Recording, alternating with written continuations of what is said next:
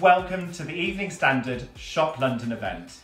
My name is Larry Walshe, and I'm the founder of Larry Walshe Studios, the UK's foremost floral design agency, and also Bloom, the UK's first 100% plastic free and sustainable online florist. Today, I'm going to be taking you through all of the steps that you need for floral fabulousness as we create our very own hand-tied bouquet at home. In order to do that, you will need a few ingredients. Some scissors, some twine, and a clear glass vase. Perfect for placing on your coffee table at home. I'd recommend our low chimney clear glass hurricane. They're available on bybloom.co.uk and for all viewers of the Evening Standard, we're offering a special discount code using ES Shops. You'll be able to get 10% off site-wide. So to begin, once you've got your flowers from your florist, or if you source them from the garden, you need to just place those together in groups. This will make it much easier when we're actually designing the bouquet itself. Today we're working with white roses, white wax flower, some white and green ornithogalums, some beautiful green viburnum, otherwise known as Guelder rose,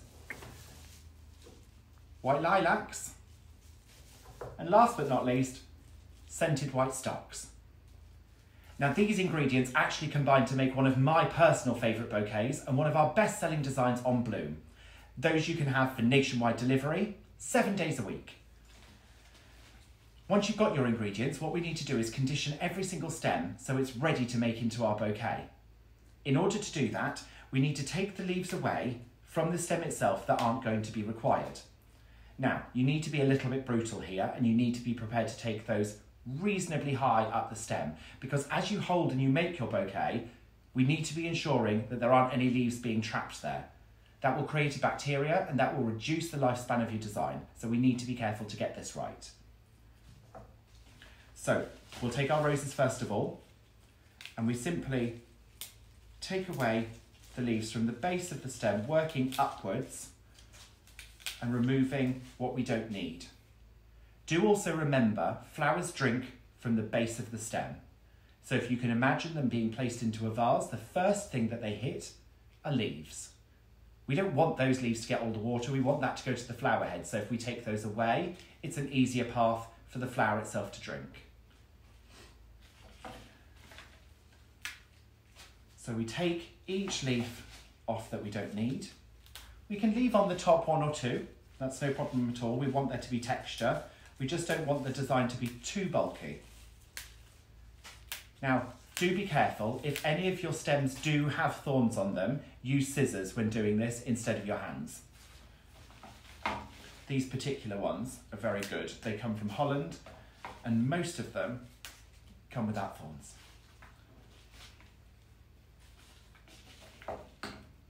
Now what you may notice with certain roses is you might notice that there are some like little curly petals on the outside. Sometimes they're a little bit bruised, they might have little brown marks on them. There's nothing wrong with them at all. They're actually the guard petals. And those are the petals on the outside of the flower bud. They protect the flower until it's ready to open. And then they're the first ones to open as it blooms. So they've often been subject to the weather a little more than the rest. And what you can do is just pluck those off if you don't want them and if you don't like them.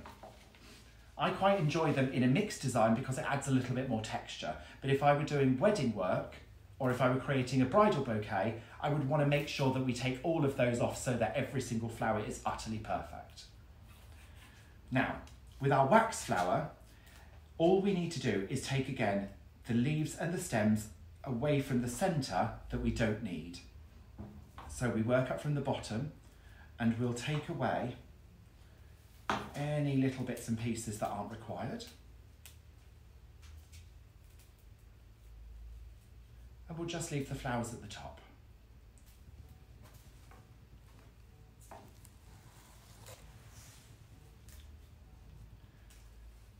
Now, you'll notice with wax flower, it's got a really beautiful soft scent and it almost smells like lemon. It's a really beautiful citrusy tone. And if you just crush any of the little flowers there. It smells amazing. So it's really nice to mix in with your designs because as you brush past them in the home, they'll scent the room really lovely. Now do take care when conditioning your flowers. This is pretty much the most important step. If you look after all of your produce, a bit like when you're cooking at home, then you will end up with a really beautiful finished result. So just working down every single stem and making sure that we take off everything that we don't need.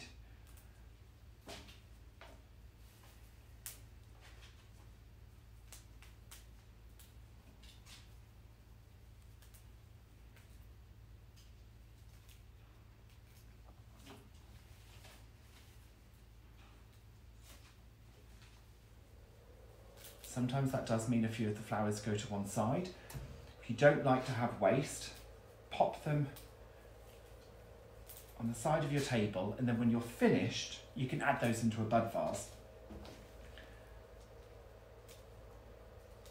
And you can decorate the rest of the house with the leftovers. Okay, so on to viburnum. Viburnum is a really, really beautiful flower. It's otherwise known as Guelder rose.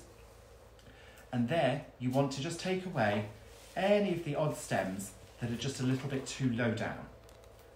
So here, we'll take off those bottom two. We're going to leave on the largest flowers right at the top. Very nice and easy. These are really lovely, manageable, woody stems. And a really great tip when working with wood stems is that when you do cut them, cut them at a 45 degree angle and then slice up the middle with your scissors. That way you gain more surface area over the actual stem. It allows more water to be absorbed and those flowers will be a lot happier. So we'll just take away the last few pieces here with the viburnum. And all of this you can pretty much do with your hands. The only thing you need to be careful of is thorns on roses, just so that you don't hurt yourself. Stocks, just take away the odd few stems that you don't need, that might be a little too far down.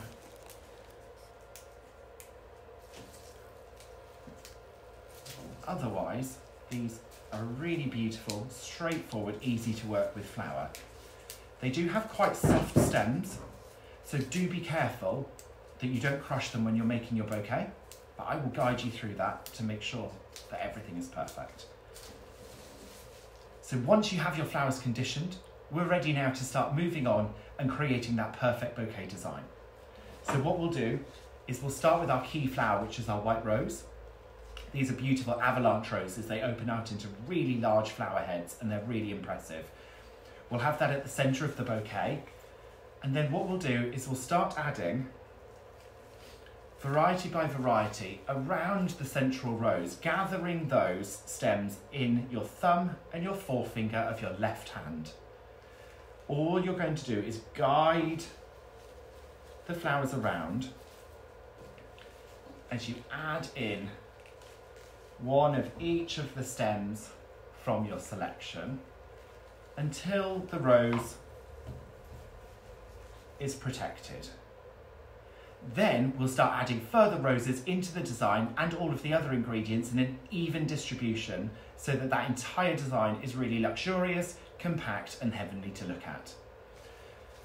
You'll continue holding the bouquet design in your left hand between your thumb and your forefinger. This is really, really important. And in order to create that beautiful kind of spiral effect that you see when you get flowers from a florist, we're going to make sure that we continue to move our flowers around in an anti-clockwise direction at all times. Every stem that we add, we will lay over the front of where we are holding our flowers. So I take this stem here of wax flower, I lay it over the front of those that I've gathered at an angle at 45 degrees, and then I gather it between my thumb and my forefinger. I then just give a small twist, and then I move to the next area. So in this area, I'll add a little bit more wax flower. I place it where I want it at a 45 degree angle. I gather it between my thumb and my forefinger. and then I twist to the next area and that's where I'll now add something else. So we'll add a stock in here. I gather it, I twist. It's a very simple, repetitious process, but if you follow it carefully, this is what will create the ultimate bouquet. So you gather the stem, you twist, and you're always moving in the same direction in an anti-clockwise fashion as you gather all of your stems in your hand. So we'll take the viburnum again, we'll add a bunch of colour in there, we lay it against the area we want, and then we twist. And then we'll add an ornithogalum. We'll lay it there, and then we'll twist. And we'll continue to add our flowers now in an organised fashion. So we'll add in a stock, we'll add in some more of this glorious lilac, and we'll slip in a few more roses. As you can see, we've now gathered a rose in the centre. We're about to start adding them further around the bouquet itself. And in order to do so, that ensures an even distribution of the ingredients. So you don't have all of the roses in the middle of the bouquet and then just one or two on the outside. We want it to be really nice and consistent. So, adding a few more roses here. Every time we turn in an anti-clockwise direction, we lay the rose over the stems before, we pinch and we twist. Doesn't matter if the shape isn't perfect at this stage, we can adjust it later, but we should now start to be seeing a soft circle about to form. We'll continue now adding our ingredients in. So we'll have another stock. Here I think we could use a little bit more wax flower. And this is where the artistry comes in. The artistry is all about the distribution of the flowers that you're working with how to navigate those beautifully so you end up with a really sensitive combination of those selected blooms. And that's what turns a design from bleak to chic incredibly quickly. So I'll add in a little bit more zesty green. Don't worry if you are working with viburnum, they tend to be quite flopsy, they tend to have their own personality, and I personally quite like that. But they will also start to appear a lot neater once we've got enough produce in the bouquet itself. So as we're turning now, we're really looking at what flowers are in front of us, what we've already placed, and where there's a gap. What shape is that gap? How big is it? And we'll start to fill in with everything that we've got in front of us. So here we'll add in a couple of stems and then twist, always moving in an anti-clockwise direction. That's going to ensure the spiral effect on our stems later. These lilac are just enormous. And they're one of my favourite flowers. Stock's adding a really nice texture and adding a really nice scent.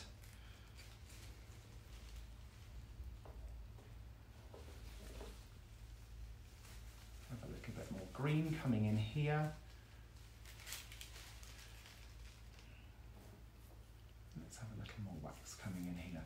Now I think it's time for a few more roses. So we'll pop in some more of our white roses here.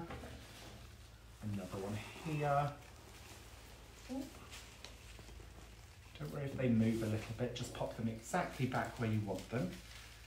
And we'll keep turning.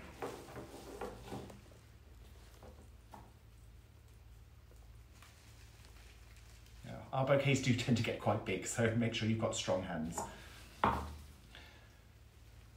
let's have a little bit more viburnum.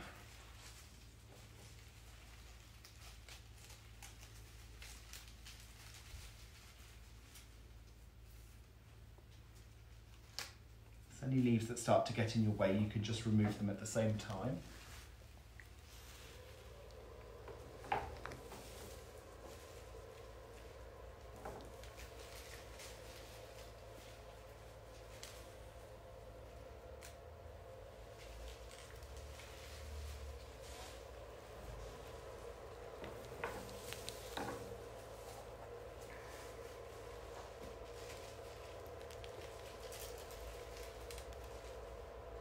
Do make sure to keep looking at it as you add in your flowers and especially as it starts to get fuller and fuller and fuller.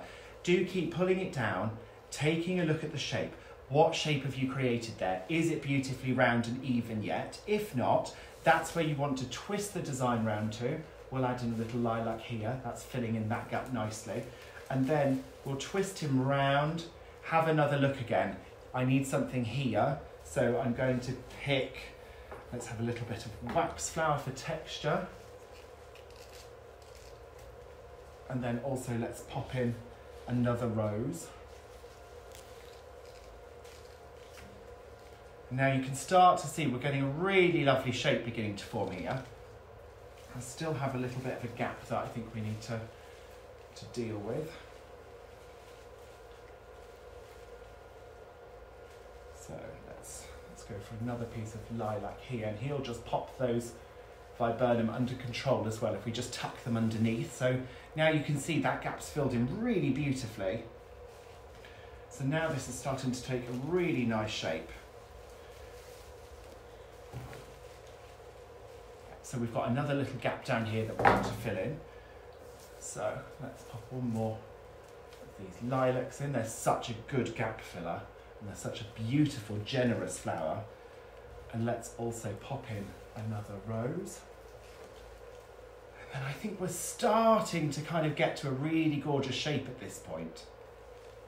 So what I'm going to do is I'm going to just hold the flowers in one hand take my twine. If you are organised, you should get a length of this in advance and have it sat to one side so that you're not trying to do this one-handed like I am.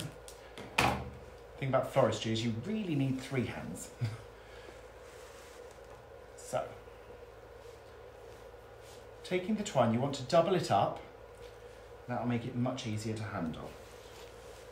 We're then going to just place the flowers themselves on the table. Just rest them there for a moment, they'll be absolutely fine.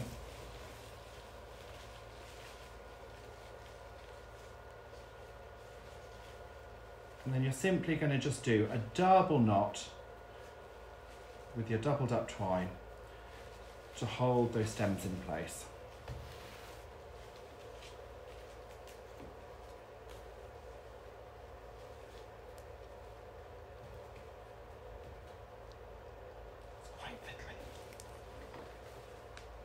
Once you've got that there, you can also then just adjust any stems that you might want to that might have just slipped as you've been making the design.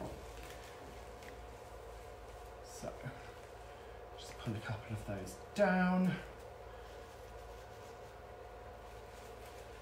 And if you want to tweak any of the roses here, for example, and you want to lift those up, you want to go in from underneath and just tease those up a little bit and then you can see him and nothing gets lost. Can then just lay him down ever so gently again. If you need to, because of the size of this bouquet, it's quite large, you might want to just double up and just do another piece of twine around the stems just to be sure. So in which case, double the length. Wrap him around the stems in a quick double knot to pop him into place. You can always go around one more time if you need to.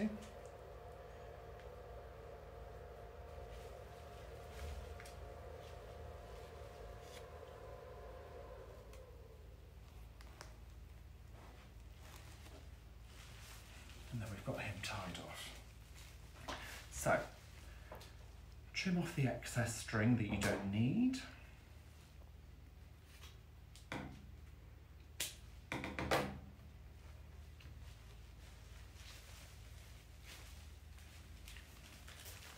And then you have a very neatly tied bind point. Now, that bind point is what we refer to when we're avoiding leaves being trapped in and around this area. We want to make sure that that's really nice and neat and clean because now you can see all of these stems are now compacted together. We don't want them to be actually collecting and creating bacteria. What we now want to do though is take our vase that we filled with fresh water and added flower fluid to earlier. And we want to measure our stems so that we can see exactly how they're going to sit. Pop it on the edge of the table. Measure your flowers down there. And then you'll be able to work out where on your stems you need to cut in order for them to sit perfectly.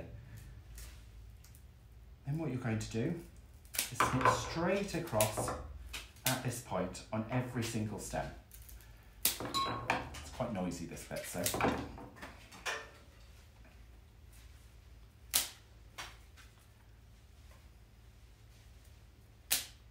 Some of these stems are very strong.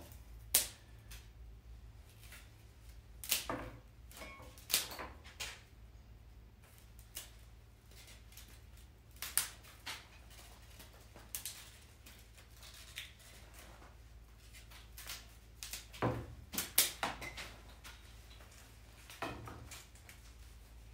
you want to, just turn that over. Keep snipping straight across those stems.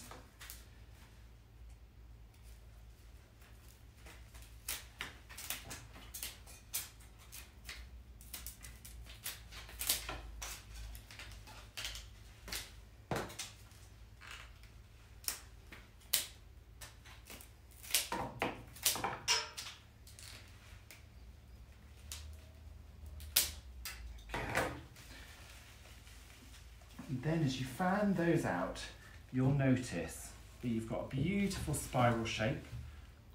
That's a little too tall for me, so I'm just going to bring him back out again and just trim those down a little bit further, just so that we've got the perfect height.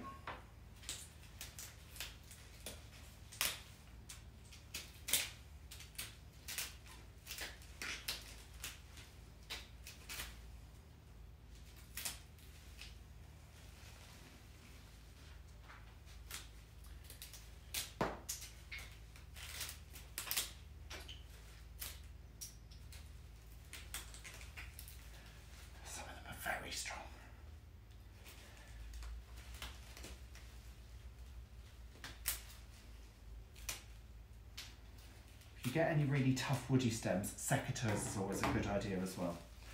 Okay,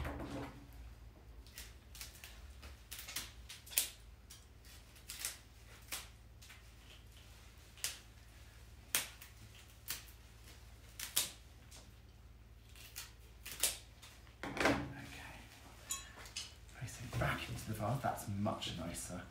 And then simply arrange him into position.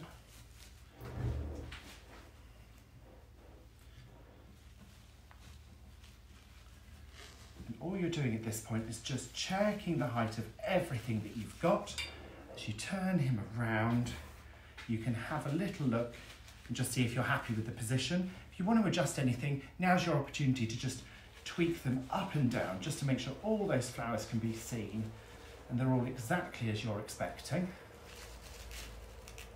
And there you have it, a really beautiful, round, hand-tied bouquet design perfect to go on the dining table, perfect if you're having people round for dinner or you want to celebrate, or if you just want to go out into the garden, celebrate what it is that you've got in the countryside and gift that to a friend during lockdown. What could be nicer than cheering somebody up? If you would, however, like to buy one of the designs that we have available on bybloom.co.uk, as I mentioned at the start of the video, we're running an exclusive 10% off everything site-wide using the code ESSHOPS.